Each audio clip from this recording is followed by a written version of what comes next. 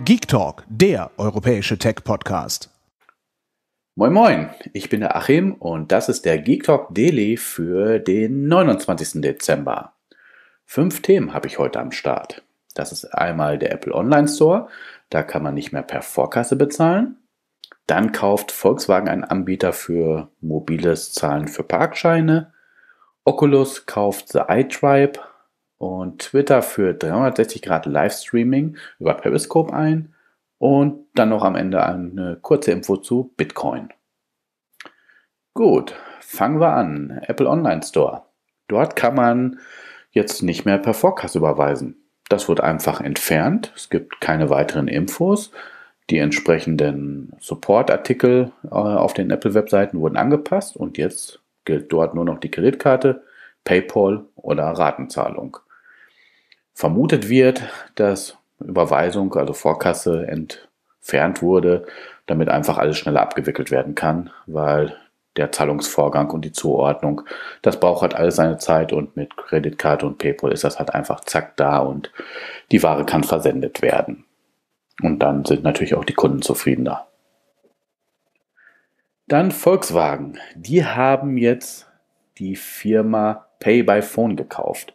Pay by Phone, das ist einer von einigen Diensten, die so existieren, die es ermöglichen, wenn man irgendwo parkt, nicht mehr nur einen Parkschein äh, zu ziehen aus dem Automaten mit Münzen womöglich auch noch, sondern indem man einfach sein äh, Handy nimmt und darüber praktisch den Parkschein bucht.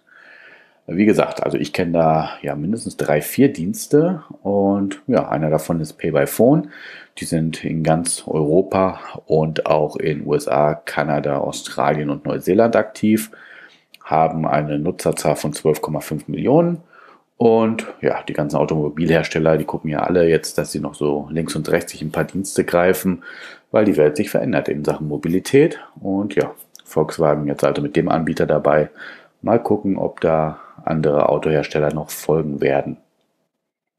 Und wenn wir schon bei den Übernahmen sind, Oculus, hier die Virtual Reality Brille, die Facebook gekauft hat, oder die Firma, die Facebook gekauft hat.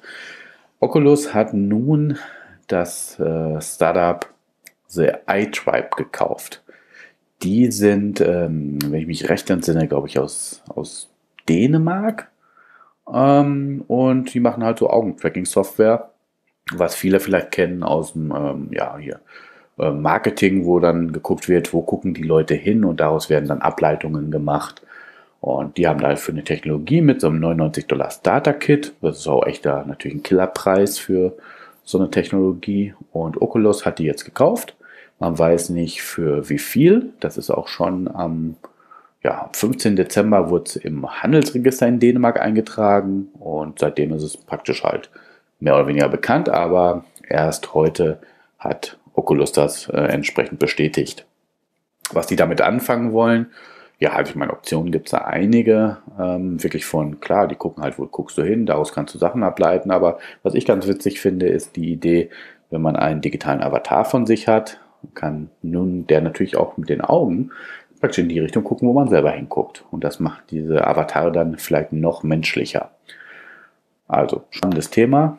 Mal gucken, was Oculus daraus macht. Nächstes Thema ist Twitter. Ja, die, die müssen ja was tun, weil so, so, so gut sieht es bei denen nicht mehr aus. Und die haben jetzt auch 360 Degree, also das bin ich schon im Englischen, 360 Grad Livestreaming eingeführt. Also 360 Grad Video, man guckt links, rechts, dreht mit der Maus oder wenn man ein VR-Headset hat, vielleicht auch mit dem Kopf. Und ja, damit livestreamt dann. Livestreamt man, wie auch immer man dazu sagt. So viele Anwendungsmöglichkeiten für 360 Grad Video weiß ich auch nicht. Also ich meine, eigentlich kann man es überall anwenden, aber macht immer Sinn, es zu machen, nur weil man es kann. Aber es sollte ja dem, dem Zuschauer auch schon was bringen. Von daher, naja, also da ist jetzt Twitter aktiv über Periscope und jeder Nutzer kann sich das jetzt angucken, ab heute mehr oder weniger. Aber noch nicht jeder Nutzer könnte das selber machen, denn das dürfen erst ausgewählte ja, Firmen, Partner. Und dann wird es wieder ein bisschen dauern, das Übliche. Und irgendwann dürfen wir alle Twitter-Nutzer das auch machen, wenn wir es denn können, auch technisch. Und dann gibt es wieder ganz viele unsinnige Videos und da muss man sich da durcharbeiten. Naja, ob ich das so richtig toll finde, weiß ich nicht, aber schauen wir mal, was daraus wird. Was daraus wird, ist auch noch eine schöne Überleitung. Was ist aus Bitcoin geworden? Äh, Bitcoin hört man eigentlich immer nur, wenn es entsprechend hoch oder runter geht im Kurs. Aber die haben sich so langsam rangepirscht an ihr Dreijahreshoch. Die sind derzeit bei rund 950 Dollar für einen Bitcoin. Und das letzte Mal waren die vor drei Jahren bei 1000 Dollar. Das war im Januar 2014. Und das höchste, was sie dann äh, erreicht haben, waren 1023 Dollar. So.